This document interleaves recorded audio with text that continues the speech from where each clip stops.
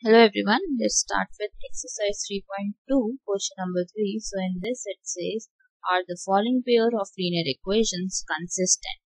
Justify your answer. So for, for system to be consistent, then it should have two ways.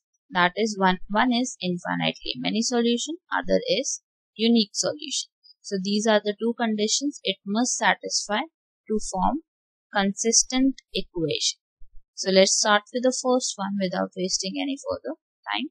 So the first one is minus 3, a1 is minus 3, a2 is 4 and b1 is, sorry, I'm sorry.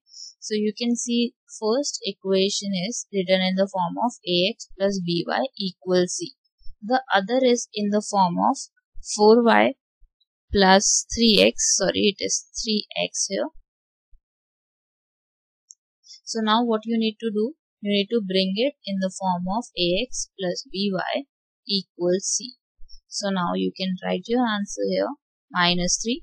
Then we have 3 as a2 and b1 here is minus 4 and b2 here is 4 and the last one that is c1 over c2 so 12 over 12 so now you can see that the first two terms we have is minus 1 and minus 1 the second term. And the last one is 12 over 12 so it equals 1 so therefore the last term is not equivalent to the first two terms. So therefore you can directly see here that this is is the case of no solution. The given pair of linear equation is inconsistent therefore. So this is inconsistent and has no solution to it. Now moving on to the next, we have a1 as 3 over 5 and a2 as 1 over 5. Now 5 and 5 gets cancelled out. We have the second one as minus 1 and b2 as minus 3. Now the c1 is half and c2 is 1 over 6. So the first term is 3, the second term is 1 over 3 which means that the first two terms are not equivalent. a1 over a2 is not equivalent to b1 over b2. Then it is a type of unique solution. And if it is unique solution, then it is consistent. The second one is consistent. Now moving on to the third part.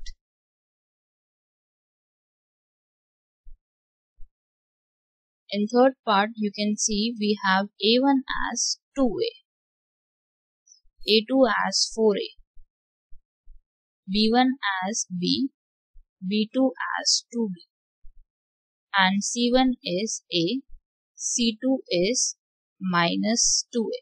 Now, in this case, it is not A, it is actually minus A.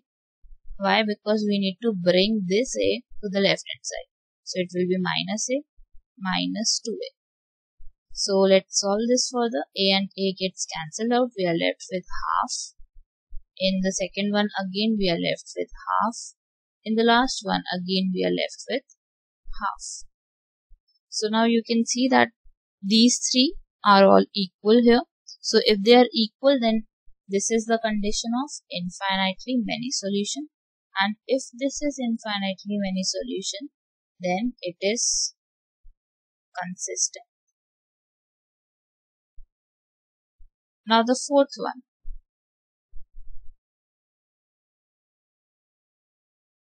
Fourth one is x plus 3y equal 11 and the second equation need, needs to be expanded first.